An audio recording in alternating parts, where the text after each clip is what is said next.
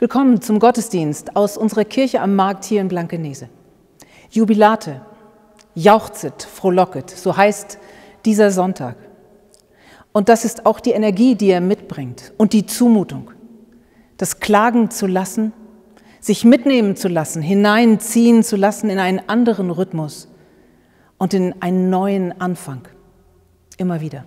Und darum auch heute, auch jetzt, auch hier. Herzlich willkommen zu unserem Gottesdienst im Namen Gottes, der Herkunft und Heimat unserer Seele ist.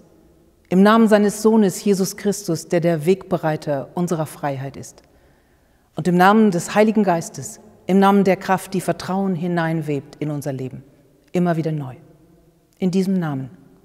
Amen. Gott ist meine Macht und mein Psalm und ist mein Heil. Wir sind auf der Suche nach der Kraft, die uns aus den Häusern und aus den zu engen Schuhen und aus den Gräbern treibt. Gott ist meine Macht und mein Psalm und ist mein Heil. Man singt mit Freuden vom Sieg in den Hütten der Gerechten. Aufstehen und mich dem Leben in die Arme werfen, nicht erst am jüngsten Tag. Man singt mit Freuden vom Sieg in den Hütten der Gerechten. Ich werde nicht sterben, sondern leben. Nicht erst, wenn es nichts mehr kostet und niemandem mehr wehtut. Ich werde nicht sterben, sondern leben. Dies ist der Tag, den Gott macht. Sich ausstrecken nach allem, was noch aussteht und nicht nur dem Zugebilligten. Dies ist der Tag, den Gott macht. Lass uns freuen und fröhlich sein. Gott erleuchtet uns. Schmückt das Fest mit Main bis an die Hörner des Altars. Uns erwartet das Leben. Wann, wenn nicht jetzt? Schmückt das Fest mit Main und dann danket Gott, denn er ist freundlich und seine Güte wäret ewiglich. Amen.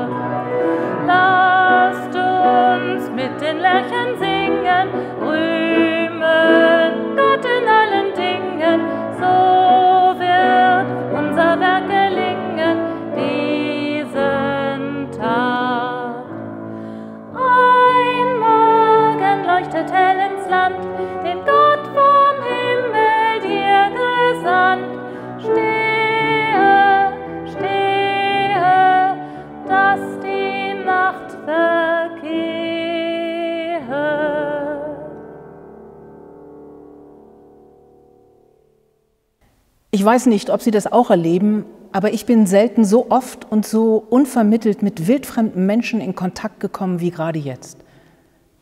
Ob beim Bäcker, in der Schlange vor der Bücherhalle oder auf dem Markt. Man kommt ins Gespräch, als würde man sich irgendwie kennen.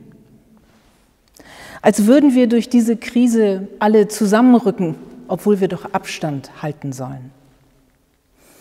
Als würde uns plötzlich noch einmal ganz neu klar, dass wir alle nicht als hartgesottene Individualisten und Solitäre gemeint sind, sondern auf Verbundenheit angelegt, gemeinsam gemeint. Dass wir Kontakt, Verbindung, Verbundenheit suchen und brauchen. Genau um dieses Lebenselixier, Verbindung, Kontakt, Beziehung, Verbundenheit geht es in unserem Predigtext für den heutigen Sonntag. Steht aufgeschrieben bei Johannes im 15. Kapitel. Und er malt uns das Bild eines Weingärtners vor Augen, der seinen Weinberg hegt und pflegt von der Pflanzung der Weinstöcke an bis hin zur Ernte. Er malt uns vor Augen, wie das lebendige Geflecht von Rebstock und Reben ist und was der Gärtner damit zu tun hat, wenn die Ernte gelingt und ein großes Gewächs daraus hervorgeht am Ende des Sommers. Bleibt in mir und ich in euch, wie die Rebe keine Frucht bringen kann aus sich selbst, wenn sie nicht am Weinstock bleibt, so auch ihr nicht, wenn ihr nicht an mir bleibt. Ich bin der Weinstock, ihr seid die Reben. Wer in mir bleibt und ich in ihm, der bringt viel Frucht. Denn ohne mich könnt ihr nichts tun.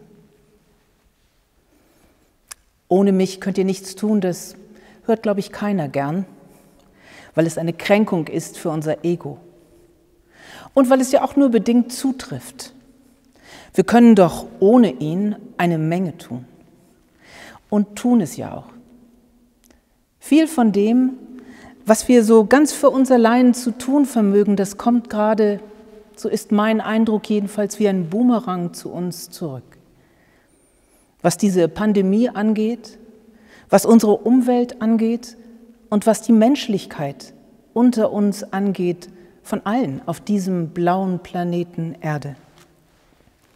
Ohne Rücksicht auf Verluste, nach mir die Sinnflut, das haben wir ganz gut ohne ihn geschafft. Verbunden mit ihm wäre es nicht möglich gewesen, glaube ich. Mit ihm, das hieße, die Grenzen anzuerkennen und ernst zu nehmen, die uns gesetzt sind als Menschen und uns nicht darüber zu erheben. Dass uns die Erde eben nur anvertraut ist zu treuen Händen und nicht unserem egoistischen Zugriff ausgeliefert. Mit ihm in Verbindung bleiben, das hieße, das Wissen um unsere Endlichkeit gelassen, ernst zu nehmen und danach zu handeln. Wirklich zu begreifen, dass wir nichts mitnehmen können, wenn wir von hier gehen, dass wir aber im besten Fall viel Gutes hinterlassen können. Die Folgen unseres Handelns, die andere nach uns zu tragen haben werden, in den Blick zu nehmen und gegebenenfalls die Wuchsrichtung beschneiden zu lassen, von manchem Irrweg umzukehren, das hieße, mit ihm tief verbunden zu bleiben. Das hieße, bereit zu sein, uns auch korrigieren zu lassen von ihm. Uns wirklich zu orientieren an dem, was er uns mit auf den Weg gegeben hat, als unsere Reise begann. Er, der die Herkunft und die Heimat unseres Lebens ist. So hat Jesus von Nazareth gelebt, in enger Verbindung mit dem, den er Vater genannt hat, bei dem er geborgen war und gehalten. Aus diesem Reservoir kam seine Kraft zu helfen und zu heilen, zu tragen und zurechtzubringen. Und davon hat er ausgeteilt. Von dem kam die Kraft, das Unrecht und auch das Leid, das ihm widerfahren ist, zu ertragen, ohne Böses mit Bösem zu vergelten. Weil er in dieser Verbindung geblieben ist. Deshalb konnte er leben, wie er gelebt hat. Und deshalb konnte er noch mit seinem Tod ein Zeichen setzen. Deshalb hat diese Verbindung selbst im Tod gehalten. Deshalb konnte selbst der Tod ihn nicht halten. Sein Leben hat Frucht gebracht. Alleine geht das nicht. Nicht im Glauben und nicht im Leben. Es geht nur, wenn die Verbindung stimmt, wenn die Verbundenheit lebendig ist und die Lebensadern bespielt werden. Das haben wir doch alle erlebt in diesen Wochen, oder? Im Großen wie im Kleinen. Wie wir davon abhängig sind, dass unsere Verbindungen halten, dass unsere Verbundenheit spürbar wird, innen und außen, dass die Netze, in denen wir miteinander unterwegs sind, möglichst wenige Löcher haben, dass uns jemand hilft, die Anspannung abzufedern und mit der Angst umzugehen, die Langeweile auszuhalten und in der Überforderung nicht zusammenzubrechen, die Ungewissheit zu tragen und trotzdem beherzte Schritte zu wagen in eine Zukunft, in eine Zukunft überhaupt zu denken, wo alles noch unklar ist und dunkel. So viel auf Sicht fahren müssen wie gerade jetzt gab es selten. Dabei ist es im Glauben ja gar nicht anders. Vertrauen ist der Anfang von allem im Glauben und ist es immer wieder. So viele Wege entstehen überhaupt erst im Gehen. Vielleicht dauert es noch eine ganze Weile, bis wir einander wirklich wieder nah begegnen können. Der Anfang ist uns miteinander beeindruckend gelungen. Und wenn jetzt viele Kräfte aufgezehrt sind und die Sehnsucht so groß, dass es endlich vorbei sein soll und endlich wieder normal werden soll, es wird noch dauern. Da ist es gut, dass dieser Predigtext uns an etwas erinnert, das uns Mut machen kann. Es gibt einen, der uns trotz aller Mindestabstände und aller Maskenpflicht näher kommt, als die Beschränkungen es erlauben. Immer schon.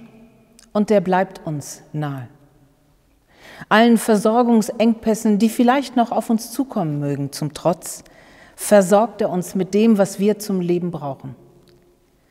Wie in der Wüste sein Volk. Nicht auf Vorrat und nicht zum Hamstern, sondern zum Leben. So wie der Rebstock die Trauben versorgt mit allem, was sie brauchen, damit wir wachsen und gedeihen können und reiche Frucht bringen, wenn es Zeit ist für die Ernte. Diese tragende Verbindung, die ist ja nicht abgesagt, ist ja nicht ausgesetzt, auch jetzt nicht in diesen Tagen. Auch diese Tage sind ja Tage unseres Lebens, von Gott alle einzeln gezählt und in seinem Buch aufbewahrt. Auch diese Tage lassen uns ja wachsen, vielleicht sogar in die Tiefe. Und auch sie bereiten eine Ernte vor am Ende unserer Tage. Wann geerntet wird, das entscheidet ein anderer, dem wir es getrost überlassen können. Wie groß sie ist und wie reich, wie köstlich, das entscheiden wir mit. Welches Fest damit möglich wird, das liegt auch an uns. Daran, wie wir mit unserem Grund verbunden bleiben und mit denen, die am selben Weinstock wachsen. Wir alle wurzeln in Gott und gehören zu seinem Weinberg. Wir brauchen, wir bringen Frucht mit unserem Leben, wenn wir der Verbindung vertrauen, die unseren Wurzeln Kraft gibt. Wenn wir sie belehnen, gerade jetzt, wo wir sie brauchen. Aushalten, dass wir manchmal auch zurechtgeschnitten werden, um klarer zu werden und reiner uns durchlässig machen und durchlässig bleiben. Für all die anderen, die davon abhängen, dass die Verbindungen stehen und niemand leer ausgeht. Wir sind so viel mehr miteinander verwandt, als wir oft wissen und so viel mehr aneinander gewiesen, als uns oft bewusst ist. Gottes Weinberg ist so viel größer, als uns oft klar ist. Lasst uns die Kreise nicht zu eng ziehen. Gott tut es auch nicht. Wenn ihr in mir bleibt und meine Worte in euch bleiben, dann werdet ihr bitten, was ihr wollt, und es wird euch widerfahren, sagt Jesus.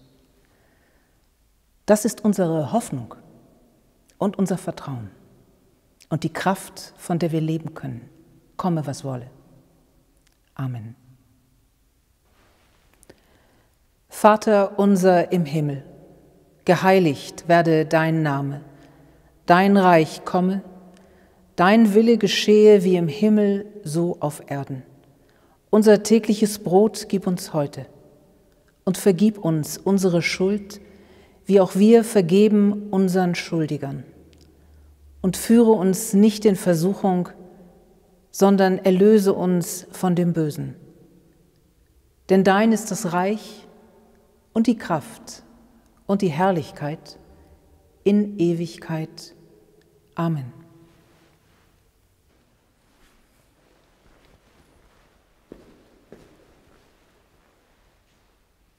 Ihr sollt in Freuden ausziehen und in Frieden geleitet werden, sagt unser Gott. Dieser Gott segne und er behüte dich. Er lasse leuchten sein Angesicht über dir und sei dir gnädig. Er erhebe sein Angesicht auf dich und gebe dir seinen Frieden. Amen.